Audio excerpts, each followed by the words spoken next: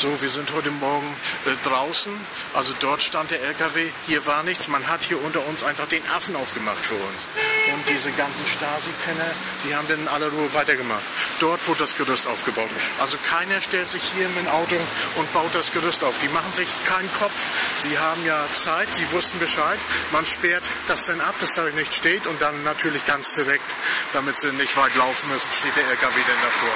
Da sperrt man einfach ein paar Tage vorher ab und schreibt dann Termin drauf und so. So wird es hier in Deutschland gemacht. Und man hat das wirklich nur vorgetäuscht, um irgendwas zu machen. Und wir werden Ihnen das hochladen. Ich habe das natürlich aufgenommen. Es war immer so, als wenn man ein Gerüst aufbaut. Da hat man natürlich aufgepasst.